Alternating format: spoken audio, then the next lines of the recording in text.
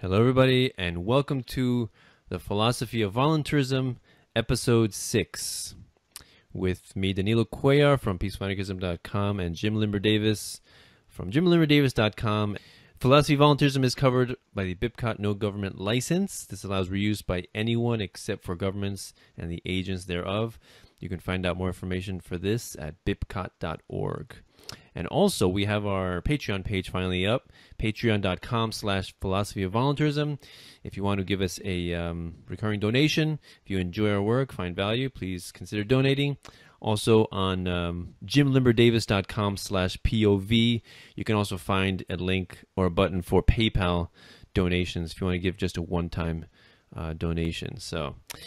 So today we're going to discuss do emotions have a role in voluntaryism or must we be logic Spock minded automatons um, just recognizing logical fallacies and pointing to reason when discussing voluntaryism and anarchism is that is that what it's all about so Jim you want to start first well, this was uh, this was your topic of choice, so I'm going to uh, make sure the spotlight stays on you while I don't even have a webcam yet. So uh, you start this one off. Okay. I'll just uh, follow up and try to shine as brightly as I can. All right. So yeah. So um, I in, initially when I first started talking about voluntaryism and anarchism, and I think I did go down the reason logic route and learned about all the logical fallacies and you know striving to point them out very coldly and callously and uh, stoically and i think that works maybe for some people who uh, are not so emotional minded but not for most people i think most people do have an emotional investment in the state and so we have to strive to connect with that uh, as much as possible to form bonds with the person.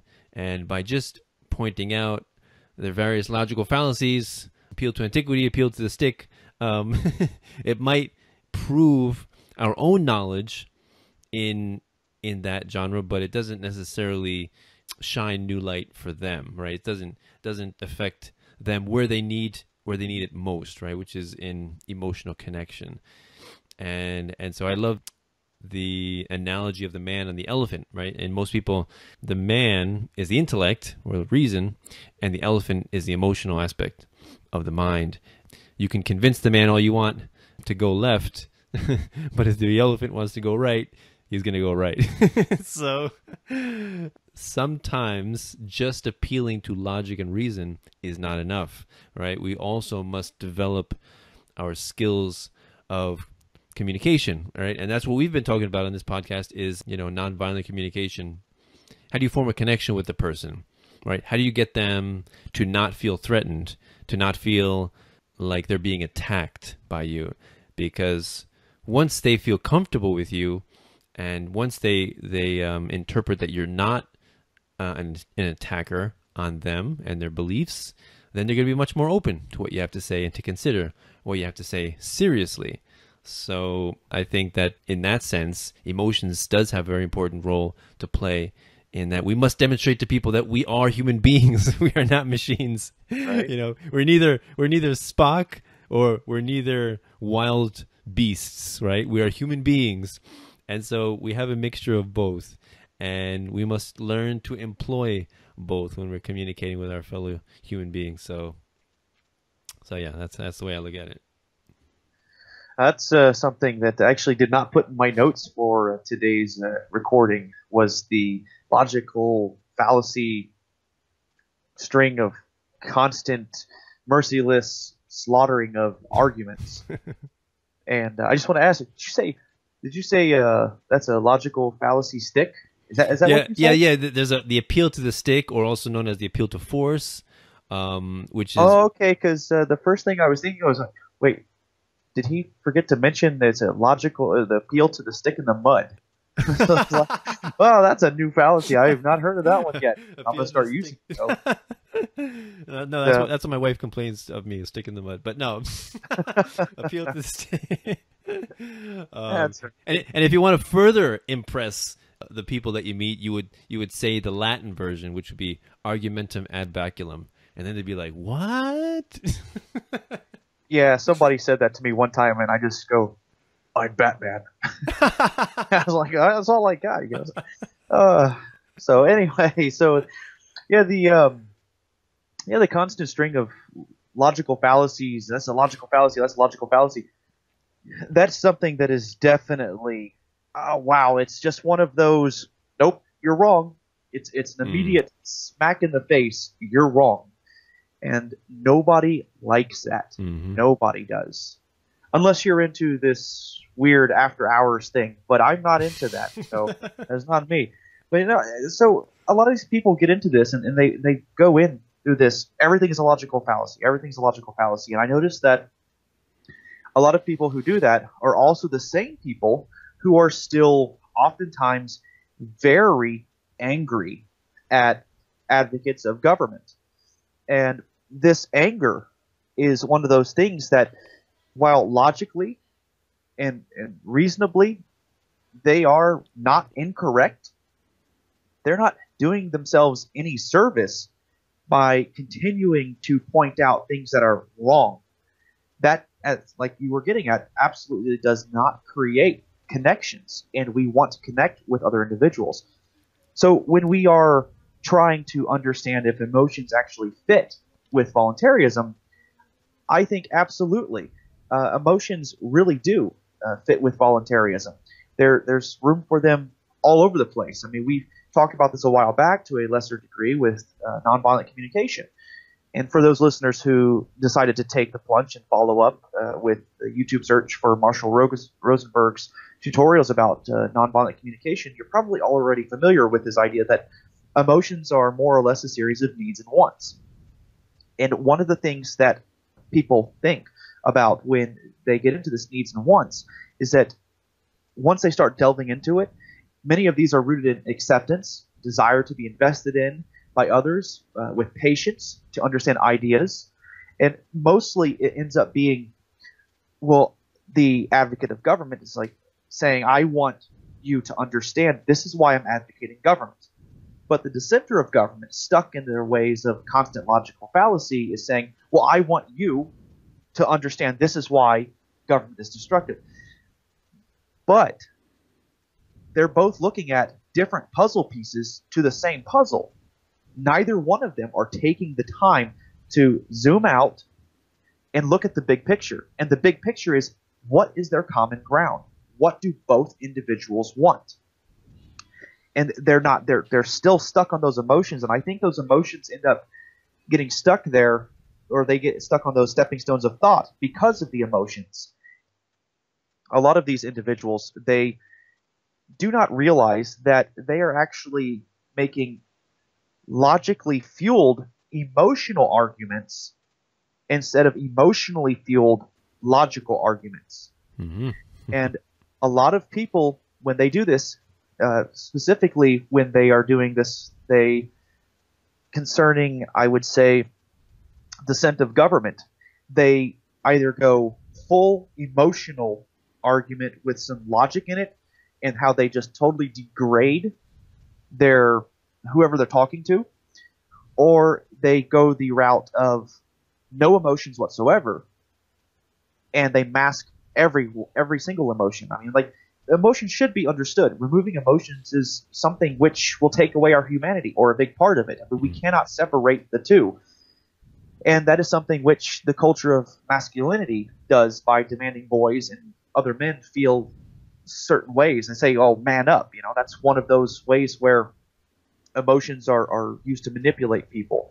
And I, that may not be clear to everybody, but that's kind of the same impression I get anyway from discussing with a lot of individuals about liberty, and they say, "Oh, don't go, don't get, oh, you got the feels or whatever it is that they they they've been saying recently." But they, when I first got into it, they were just saying, you need to you need to uh, toughen up because Mm. the real world doesn't care about how you feel.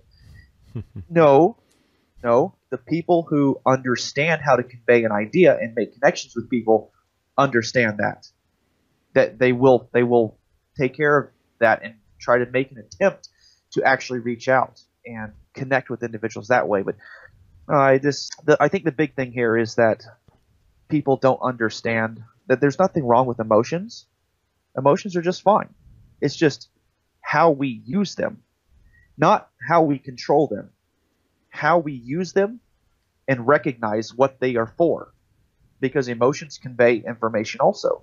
Hmm. And I think if we don't pay attention to that, then emotions are going to just be something that also hinder our ability to connect with other people, help explain new ideas to people, and so on, and just move the philosophy of voluntaryism forward.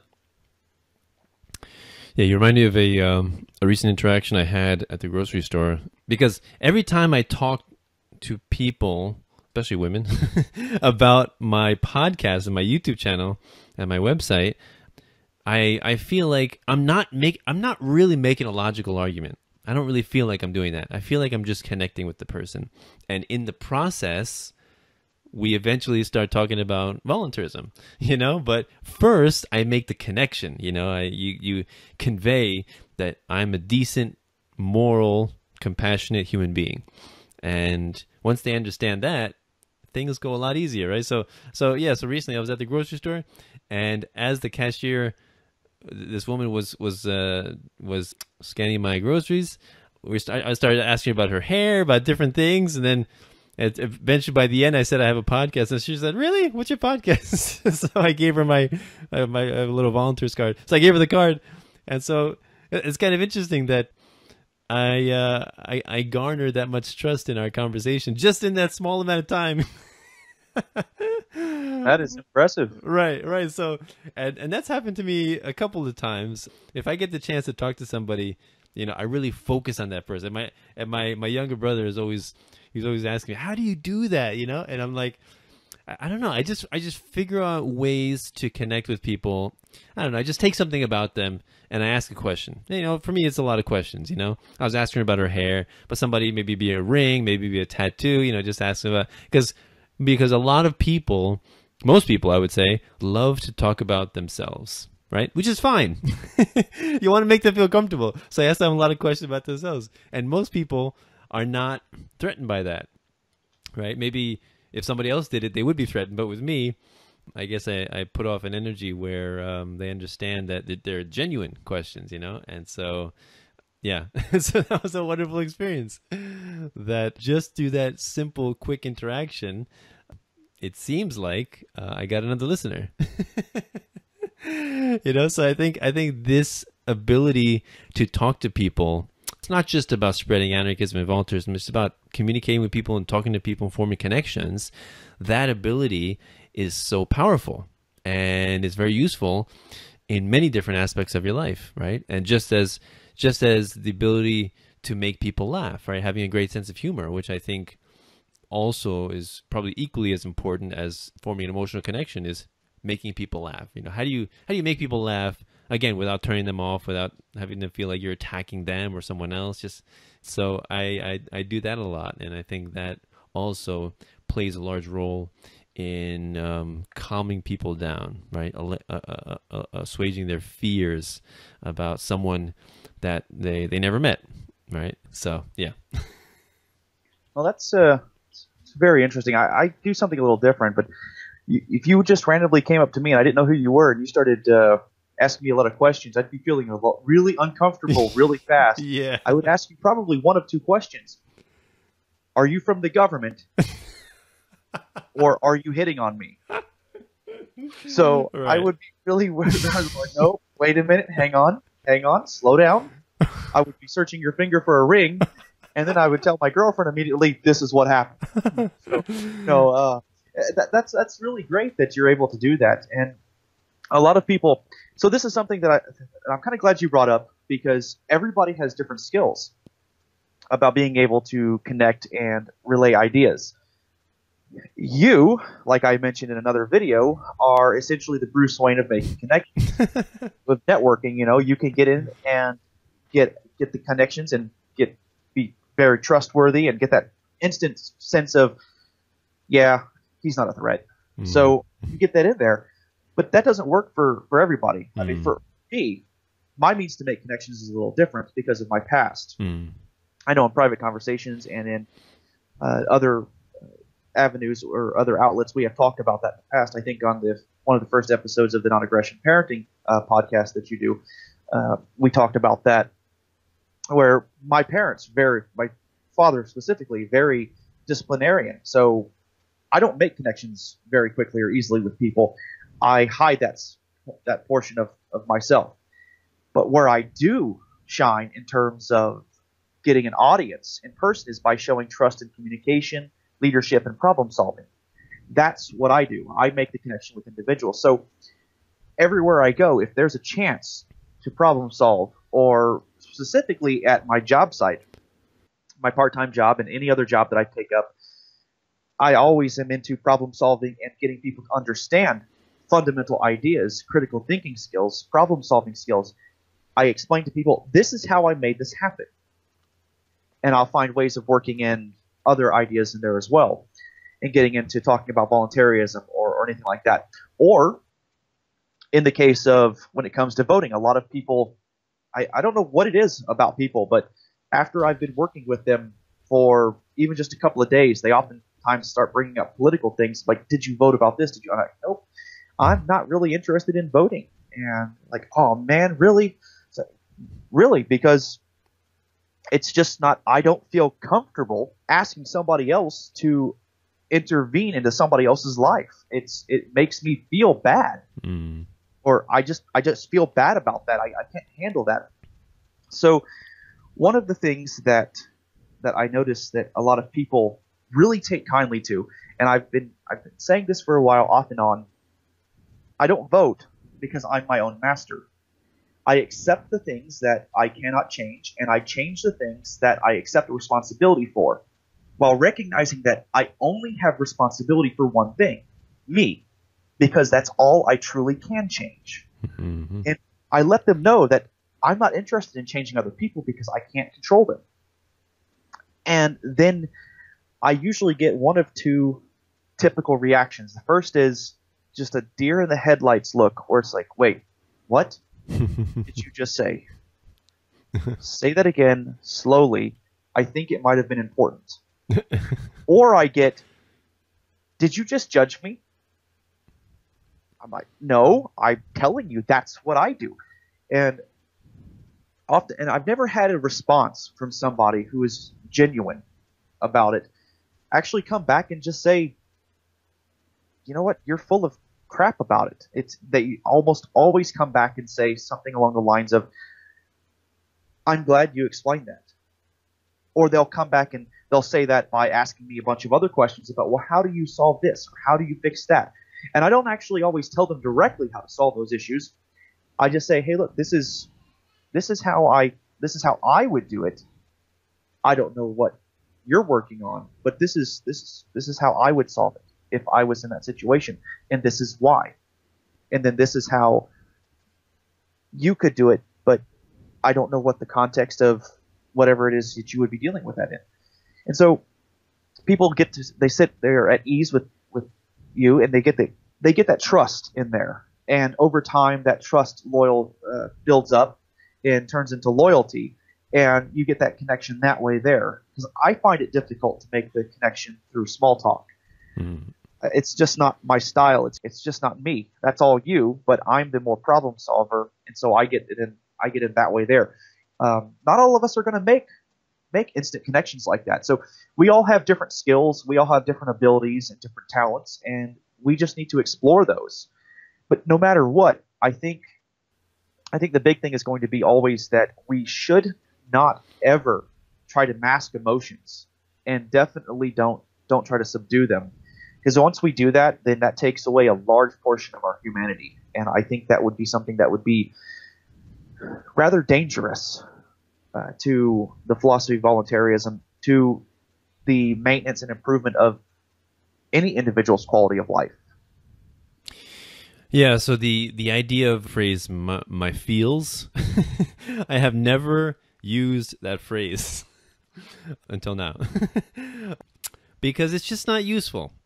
Of course, people have feelings and emotional connections to the state, you know, of course. We, you know, there, there's a saying um, in in Chinese medicine because uh, I'm an acupuncturist, right, an herbalist. So the saying in Chinese medicine that a hundred percent of of disease has an emotional component. right? So emotions are wrapped up in everything that we do and think and believe.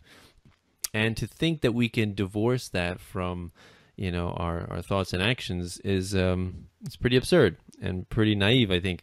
So I think, you know, we have to recognize that of course people are gonna have emotional connections to these belief systems. And and so I think it's just about examining a person's the, the roots of of why they believe what they believe, examining them, you know, with genuine interest, and you know, not trying to attack, not trying to prove them wrong, just just asking questions, right? Very, very coolly, very calmly, and in that way, sometimes they figure out the contradictions in their own logic, and you don't even have to do anything. That's beautiful. That's a great part when that happens. Oh, it is so beautiful, and and and sometimes that, that that does happen you know like like they say when you um in a relationship when a man talks to a woman and you know most often they say the woman needs to express herself more and the man not so much but sometimes the woman doesn't even need you to give solutions or suggestions all she wants you to do is listen and sometimes in that talking that she does she finds her own solutions it's kind of interesting. And uh, and uh, most of the time, I rely on that when my wife is talking to me. I'm like, do I really have to solve this problem? Let me just let her talk. oh, that's okay. so, so yeah, I, I, think that's very uh, um, that's a very valuable tool as well. Is is you know just gently asking questions and probing and and being curious about a person's belief system and uh, and the way their mind works and in that process, many times they discover certain contradictions and certain inconsistencies, and uh, and they will own up to that. And if they're honest with themselves, with themselves, they'll say, you know, wow, I've never thought of that. That doesn't make sense. Why do I believe this? Right? and, and so that's a beautiful thing. So you're so it's it's the idea of of um, you know, you can lead uh, you know, just like you lead a horse to water, but you can't make it drink, right? You, you can lead a person to knowledge, but you can't make them think, right? Same, right? same sort of thing. So, so yeah, that's kind of uh, how I look at that. That's a, a so emotional connections. That's something that I have written about a number of times in other works that I've done, particularly when people feel like they are in, emotionally invested in their support of the state or whatever it is that they did so, like my parents, my parents, for example, I don't talk to them a whole lot. I don't know if I will ever talk to them again. Uh, we've got some differences of opinion and other things that are going on where we just don't, I, for whatever reason, we just don't talk. There's always some sort of conflict there. And I know that a part of it is due in, to the fact that I am, I've written two books about liberty and morality. I openly dissent against the state, but I never call for violence. And I think they do not take kindly to that because they spent 30 years as government employees. My father also as a member of the U.S. Army. And they do all that time, all that work, 30, 40, 50 years of their lives. And then suddenly their firstborn tells them that their, their support of the state is wrong. Mm. It's a powerful hit to hmm. their history. And I I think that they don't know how to handle that maybe sometimes. They think that I'm just spitting in their face maybe. Mm. But I never once told them that they're wrong. Even in even in the other works that I have written and shared with them, I have never said it's wrong. It's just a very expensive lesson to learn. It took them 30, 40, 50 years to learn this this this particular lesson. They worked for everything that they gave. They worked for everything. but they're not wrong. They're just nescient. They just didn't know any better, or they didn't feel like they had a different choice. They didn't understand how to seek a different choice, or maybe they didn't even have the courage to seek a different choice. I don't know. But that's a very difficult thing to work for something and then to be told suddenly, oh no, there's a more efficient or a more effective way. Not even to tell them that they're wrong, but just to tell them that there's a more efficient way of achieving what it was that they, they were doing. There's a lot of pride and a lot of emotions in the work that people do. And I think that's the same thing with a lot of a lot of advocates of government. And I find actually that a lot of advocates of government and dissenters of government end up being in the same camp of thought mm-hmm. in terms of trying to get the other side to see their perspectives.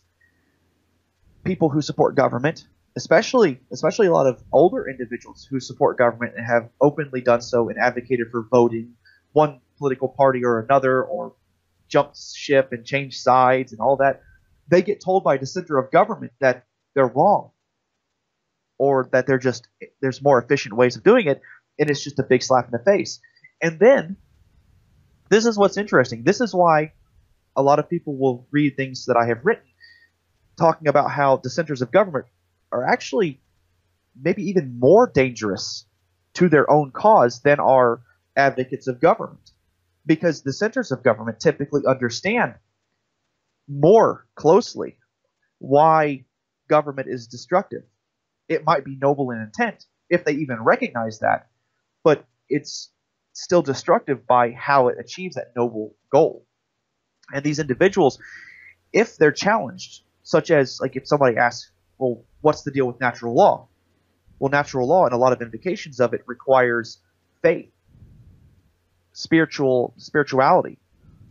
Well, how is asking me to blindly believe in something that's that's it's faith driven or spiritual driven with no tangible empirical evidence how is asking me to do that not the same as asking me to believe that the police officer is not going to beat me or shoot me or kill me if I pull over and I'm peaceful in my interactions with them? How is that not a lesser of the of the police officer's actions? How is that not the same as religion, which is saying if you don't believe this or else?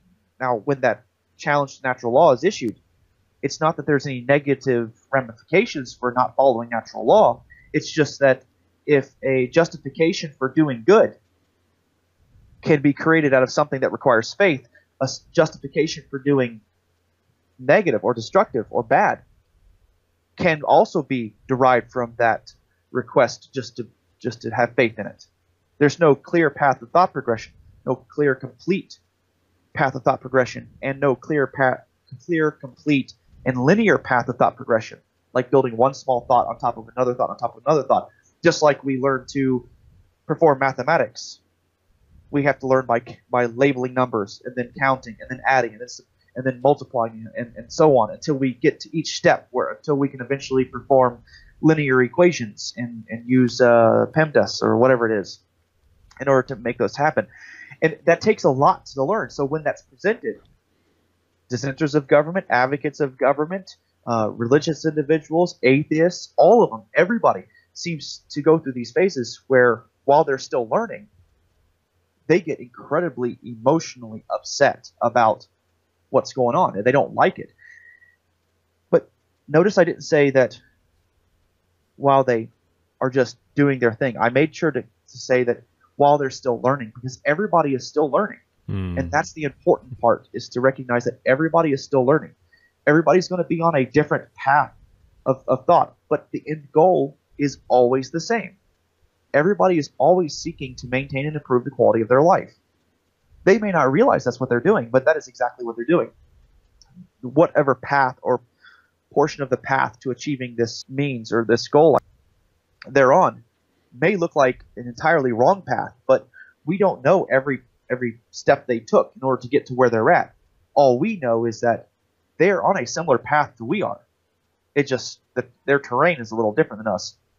And I think that that is something where the logical part needs to be used to reinforce the emotional part, but the logical part should always be first. If the emotional thinking is is first, then what happens is we get into these changes of, of mentality. It ends up becoming, say, like if we have if we have a emotionally fueled uh, logical argument and we have a logically fueled emotional argument, that's the difference between vindication and revenge.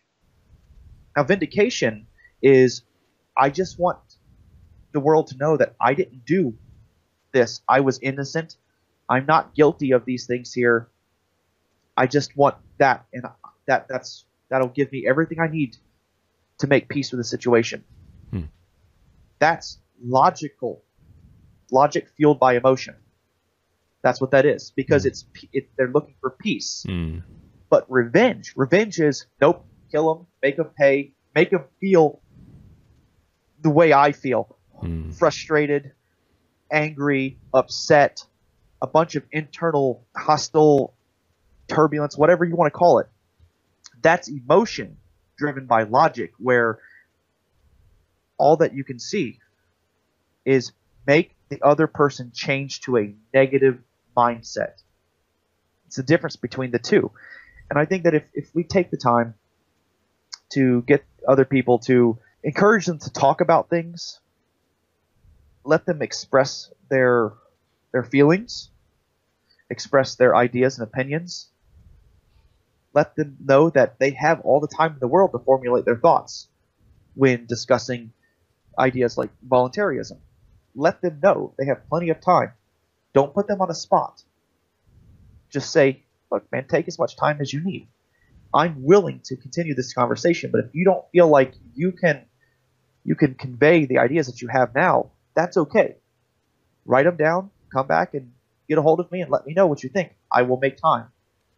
And I think that that right there is the difference, another difference that you can see between individuals who are very emotional and they feel those emotions with logic versus individuals who, nope, answer now, answer now, answer now. I'm going to hold you accountable now. Hold you accountable now for things that you don't understand yet. Mm. That's emotions, emotional arguments fueled by logic. And it has its place, but it does not have a place for long, except for in the moment learning to find the next stepping stone of thought.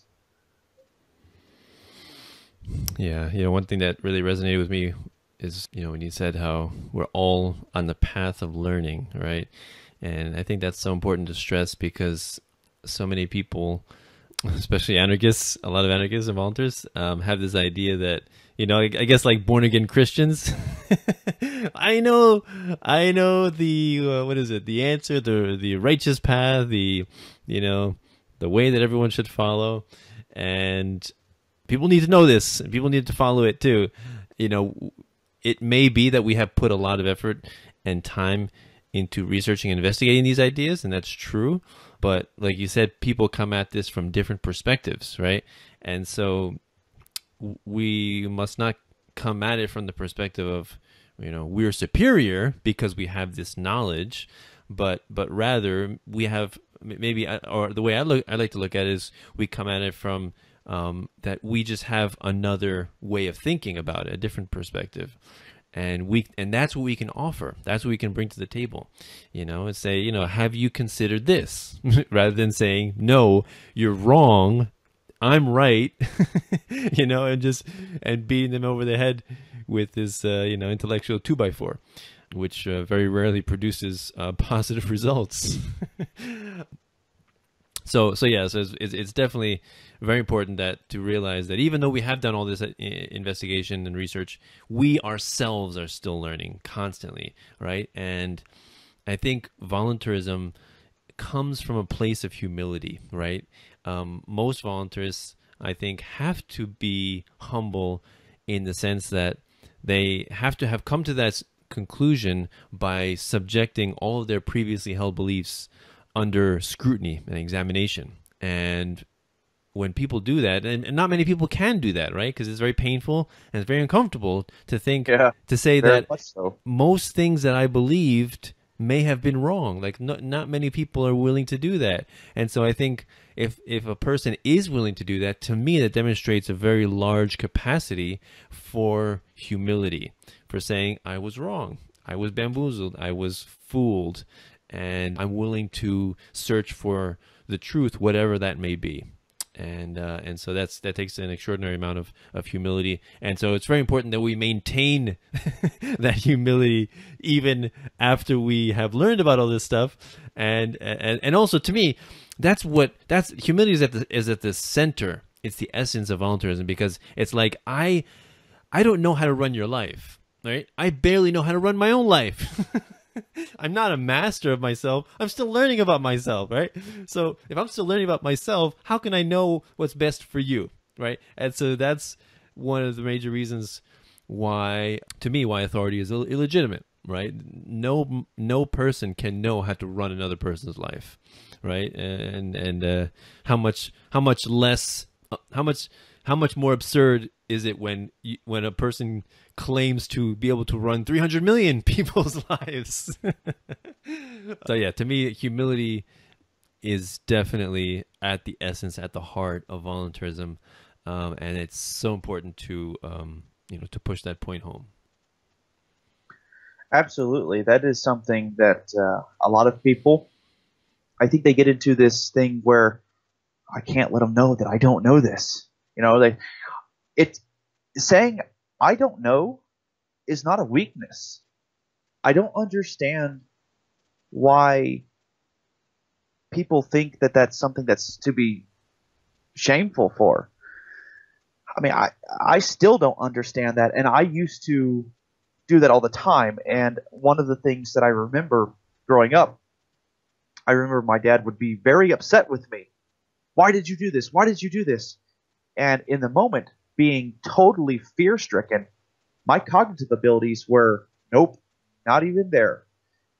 And here we are. We have we have adults.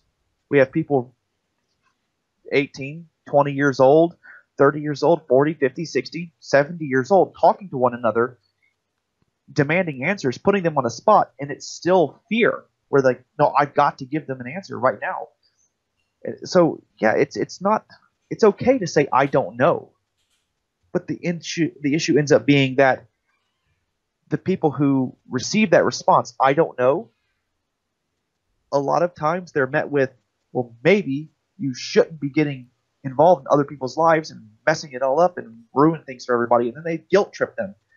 And then they use emotions as or they use these these tactics, these, these emotional fear based tactics to make somebody else encourage them to feel bad about themselves, that's used in place of, of a gun, like a police officer would. If you don't pull over, they are going to uh, choose to escalate the situation to deadly force in order, in order to get you to comply.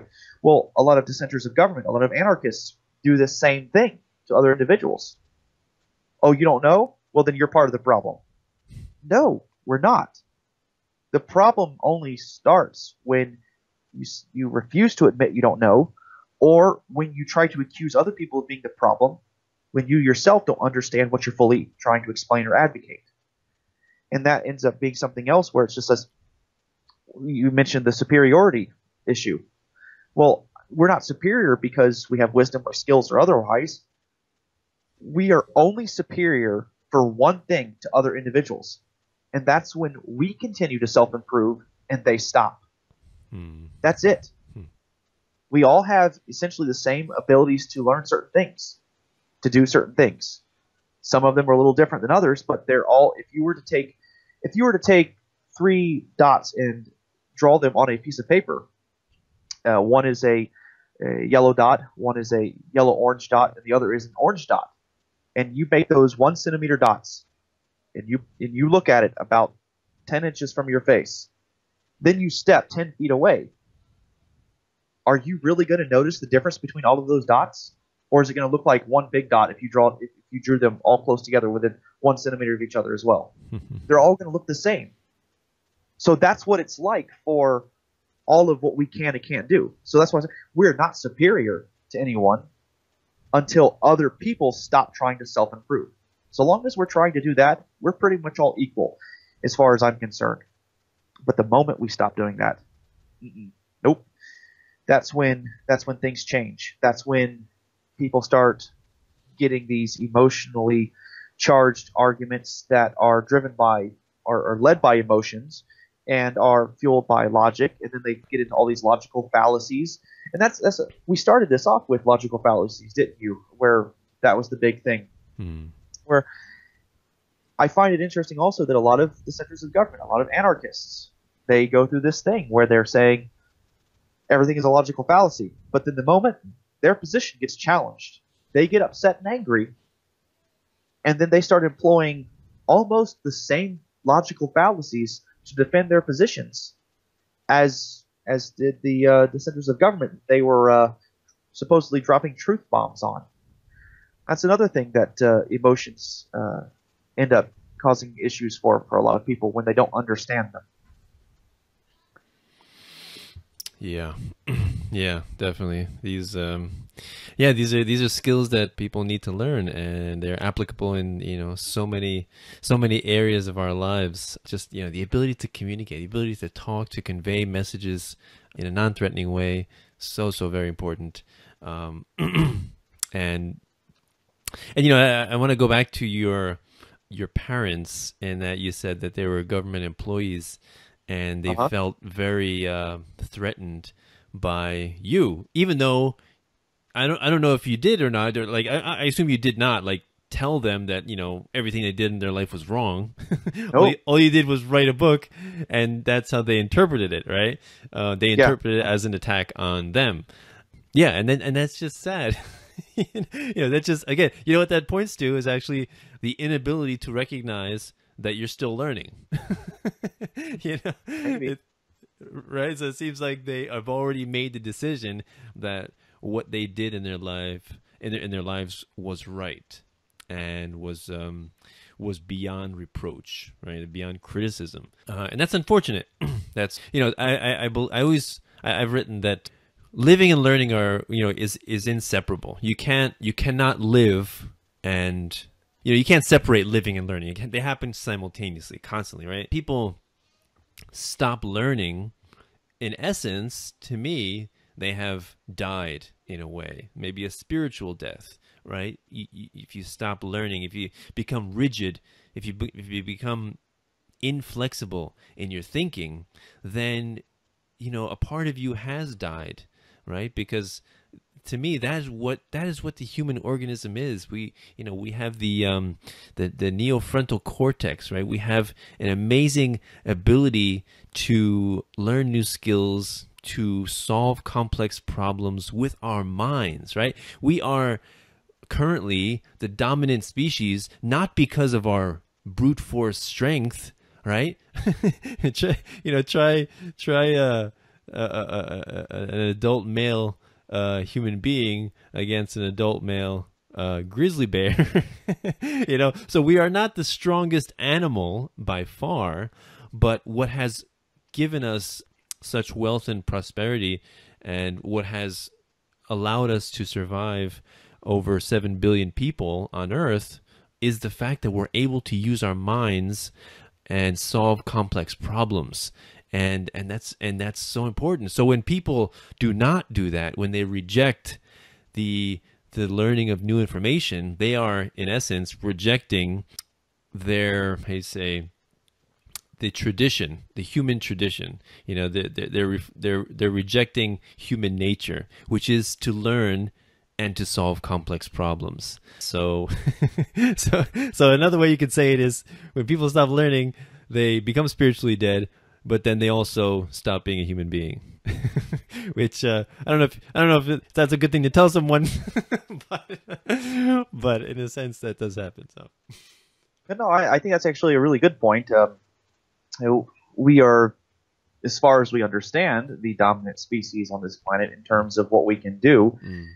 and I think it has a lot to do with the fact that we rep- that we recognize things past, present, and future. I mean, we can see this and more beyond just the moment, and that's Mm. what pretty much everything else looks at. right And I think that's a fairly rare thing when compared to every other species that we are aware of and share this planet with. So yeah, we have we don't have the strength of a bear or or, or, or a tiger or the speed of a ostrich or a cheetah or whatever, but we have something else. We have the ability to communicate information faster. mm. There was a video I saw and I I'm going to promote this on this thing here uh, because I think it was a fantastic video. It's by the uh, people over at Kurzgesagt. They did this video about uh, human evolution, and they talk about how communication has changed everything for humanity. We went from before, if you think about this, and I'll link this in the description below with the video so that uh, all of our listeners and viewers can see that for themselves. But they talk about how before we developed semi complex language, information about what was going on in the world had to be acquired from two different ways. And the first was through genetic transfer from one from one generation to the next. That changed things and allowed us to to to learn different things and to know when we need to go to sleep, when we need to, to go hunt, and when we need to move north or south for the winter or summer or whatever it is. And then the other is by learning as soon as we are available to do for ourselves. Now that was a very the first is a very slow and inefficient means of transferring knowledge. The second is a little faster, but then the moment we are able to communicate uh, semi-complex ideas, then we are able to transfer. We are able to do a number of things. One of the first things is we're able to to, to exchange information, retain information much longer, and then pass information down from generation to generation much faster as well. And those are three things that are incredibly important. And I think that is something that when you brought up my parents again, that I don't think they and a lot of other individuals, uh, advocates of government, dissenters of government alike, they don't take that into consideration. Even though they have the ability to look in the past and they can look at the future and see what they are going to do by changing themselves, they typically only live in the present and they just know now, now, now. And I think that they, they totally miss an opportunity every single day. They miss these opportunities. Are they wrong? No. They're not wrong. What's the what's the criteria used to invoke whether they're right or wrong? No, they're just they want change. They want something better to maintain and improve the quality of their lives. But do they do anything to change themselves? And it's how much are they learning? How quickly are they learning? And then how much are they allowing their emotions to get in the way? Their pride, their their whatever it is that they that they cling to. How much of that is getting in their way from them changing themselves? If we if we don't change the only thing that we can change in this world, the rest of the world isn't going to change either. And if we don't change ourselves, well, good luck on making anything fanciful happen in your lifetime. yeah, as they say, the only the only thing that's constant is change, right? Those people who are stagnant, who yeah, who lack movement or, or who lack the ability to grow, develop, adapt, um, learn new things, to to adjust to new situations, to uh, new technologies, will suffer, will fall by the wayside. They they will not fare well. You know, so if if a person goes to college and they learn, let's say, computers in college, and then they they realize when they graduate that most of the knowledge they learned was obsolete when they graduate because technology is moving so swiftly you have to continue learning. You have to look. You have to grow. And you have to adapt.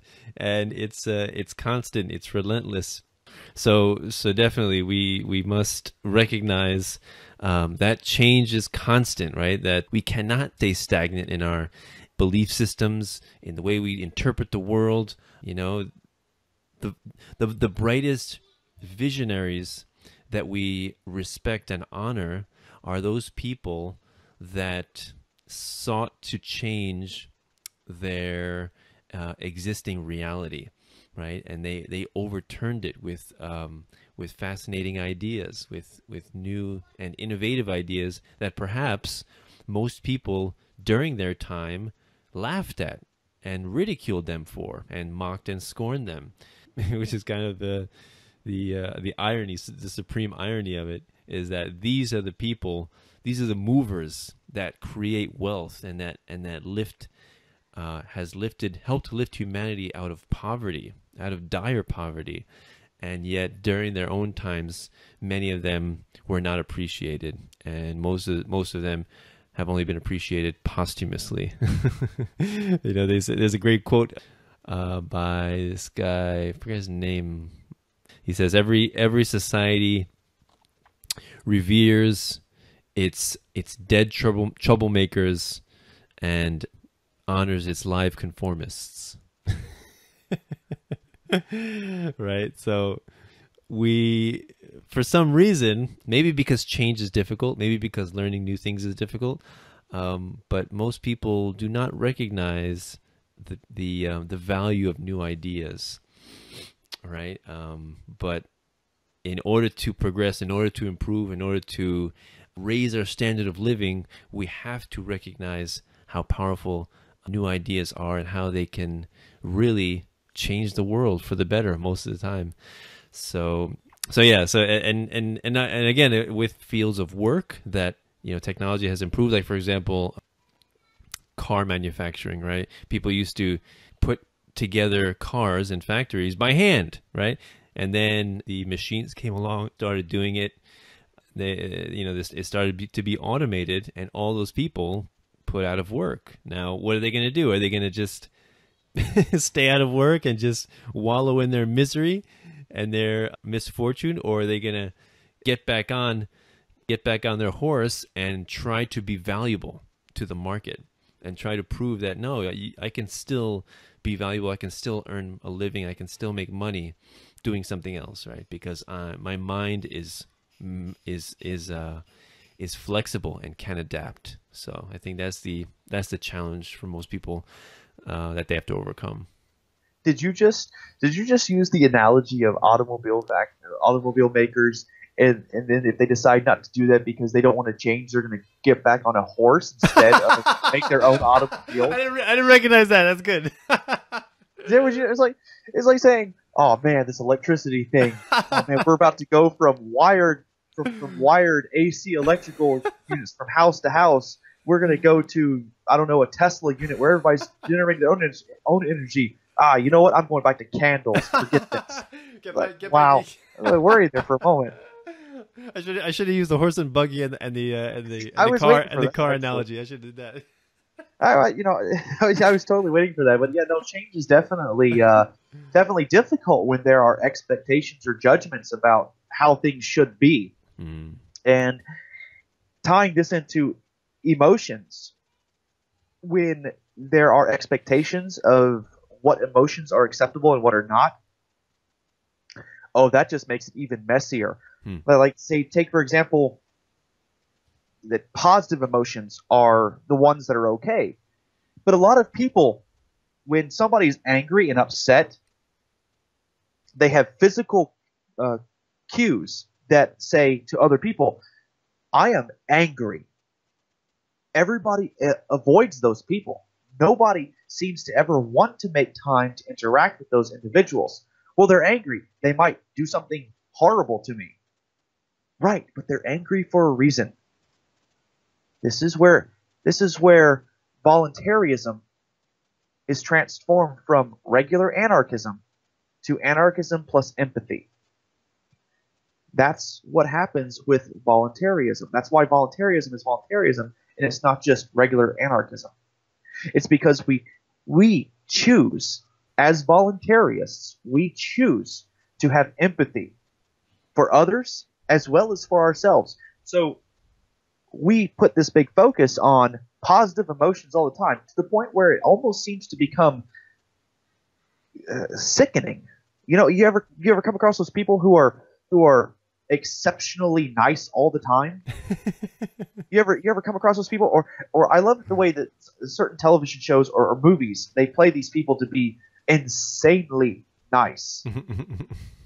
and then they end up being insanely evil at the end of the program. Or take the lady uh, Dolores Umbridge from Harry Potter, where mm-hmm. she was this lady in pink, uh, cat pictures on everything, mm-hmm. and oh, oh, everything is cheeky and roses and sunshine and rainbows, and she turns out to be probably more hated than Lord Voldemort at the very end of the show. It was just ridiculous, and um, I was just like, so so we have to be able to understand that that all emotions should be made time for, and uh, when we do, when that doesn't happen, how do we expect change? How do we, how do we expect to, to be able to accept change when it does come? You know, no, everybody puts a stigma on things that are not what we expect they should be. We judge all sorts of things, and we oftentimes prematurely and incorrectly or grossly inefficiently judge them before we even have full context of the situation. So, next time somebody's upset and angry, and I've been trying to work on this myself because I'm because of the way I was I was raised, I have a personal barrier to get over in terms of approaching people who are angry and upset. But I work on this every single day, and I make time for people who are upset, who are feeling negative emotions, and say, hey, listen, is there anything I can do to help? Because I understand what it's like to be that angry and upset and afraid, and usually end up being able to make a connection that way as well. Sometimes it's not my go to for sure, like we were talking about previously, but it is something that we can change other people by changing who we are. And it's not so much that we're really changing them, but we can encourage them to change. We can encourage them to go from a negative, destructive emotion like anger and get them to turn that into something positive. And we can maybe, I don't know if we can or not, because this is still really, it's the overly happy people still really scare me for some reason. I don't know why. It's really strange.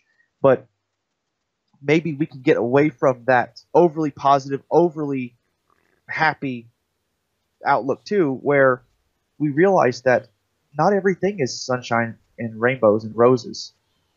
Not everything is like that. We need to be able to look at everything. And I think if we start looking at the bigger picture, just like we were talking, I was talking about earlier with the advocates of government, the dissenters of government, where each is only seeing a couple of puzzle pieces on the big picture. Mm. If we zoom back and look at all emotions and see what they're there for, I think that will also do a tremendous amount of good to help out our ideologies and ideas about voluntaryism, as well as every other uh, political ideology out there as well. I think eventually, once every idea idea is broken down, every philosophy is broken down, in terms of interacting with other individuals, I think it will eventually all come back to just being voluntaryism instead of everything else.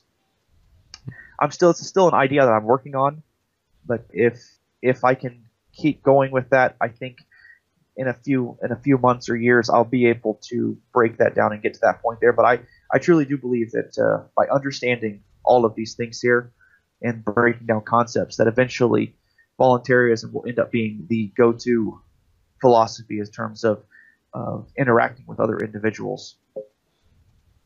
Yeah, yeah, I definitely, uh, definitely agree with that. So we're coming up on the hour, so so we're gonna give our closing remarks. But yeah, I um, I I also definitely believe that yeah, voluntaryism is is really the ultimate philosophy and that you know it's like i guess the umbrella term that encapsulates all other philosophies you know except statism of course but um you know that there's so many ways to live right we're, we're not you know it's it's um how you say it's it's a descriptive philosophy not a prescriptive philosophy right? So it just describes the basic skeletal structure of how reality works how basic economics works right? But it doesn't like you don't go to voluntaryism to seek truth or to learn wisdom or to learn how to get enlightened. That's not what you go to voluntaryism for. You know, it, gives you basic principles to live by and basic um, understanding of morality, and that's it. And that's all. You know, you know, it's all about basic these basic principles. So it just describes reality, but it doesn't tell you how you should live. Right? You can be you can live according to the basic principles of voluntaryism and still be a schmuck. Do you think it would be fair to say that uh, voluntaryism is about giving you the peace of mind to be able to achieve the goals that you want in life and without fear of of others trying to hinder your ability to do so peacefully? Um yeah, yeah, basically it it uh it just it just shows you um, the negative aspect of of morality, like what you should not do, basically, right? So it doesn't tell you what you should do, how you should act, how you should live your life, just what you should not do. Um, you know, the idea of negative rights. So that, that's kind of the way I look at it. It's just, um, and, and that's why I love it. You know, it doesn't tell you how you should live your life. It leaves that up to you. You live your life how you want, right? It leaves it very open, and I love that. I love the simplicity. I love the rudimentary nature of the philosophy, and um, and so so yeah so so uh, wrapping up with with emotions uh it yeah yeah emotions i think yeah definitely has a role in in voluntaryism in how we communicate with our fellow human beings right? Because we are simultaneously logical and emotional beings right? And, and we cannot divorce the two. And when we attempt to do so i think that will uh, come to disastrous consequences, right? So I think we, we should recognize that that both of the, those aspects of our of our intellect of our mind have a place, right, and have value, and there's nothing wrong with that. So uh, I definitely encourage a lot of people who wish to convey messages of you know voluntaryism and anarchism and free markets to to really work on their ability to uh, appeal to people in a non-threatening way, right? And uh, and and to figure out what is their emotional attachment to their belief system, and just you know just ask questions, just ask questions, and like I said before, many times they will come to the conclusions or the solutions themselves, or they will recognize their own contradictions without you even ever having to point it out to them. So, and that's the wonderful, that's the best way to do it, I, I think, um, because they they did it themselves. You know, it, it wasn't you. they opened the door, they read the book, and they did the thinking, and and that's the outcome that you want. So. Not bad at all. Not bad at all. I'm going to leave it with, uh, as voluntaryists, uh, I think we are our own masters. We accept the things that we cannot change, and we change the things that we accept responsibility for. So while recognizing that we only have responsibility for one thing, and that's our individual selves, because that's the only thing that we can truly change and that includes understanding how to change our attitudes, our emotional outlooks, and our mindsets. So, if we want to see a change in the world, then we need to change ourselves first. Excellent. Yes. So, uh, thank you very much, everyone, for listening uh, to the philosophy of voluntaryism with uh, Danilo and Jim. So, we will catch you all on the next episode. Have a wonderful day.